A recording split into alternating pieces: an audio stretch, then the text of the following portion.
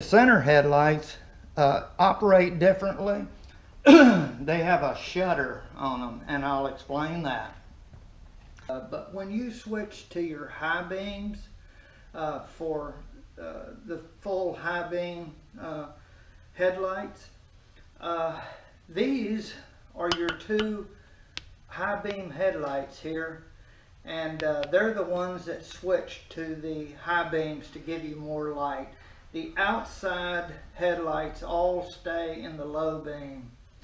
Now what switches you to high beams is not increasing the illumination of the uh, headlight or the uh, the uh, uh, light bulbs, let's say that. I have the LEDs. What they do is they have a shutter which is controlled right here that when you uh, flip your um, high beams on with the turn signal by pulling it, a signal is put uh, onto these leads which activates a shutter which gives more light uh, out.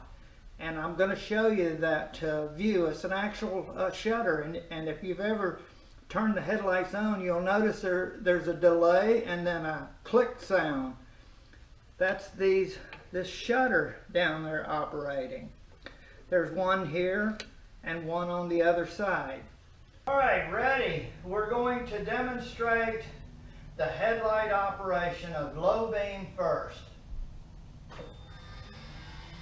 There. Everything is low beam. Uh, and uh, you can see what low beam looks like and how it's affected. Now I'm going to uh, go to high beam. That's high beam uh, and you can see the difference. Low beam.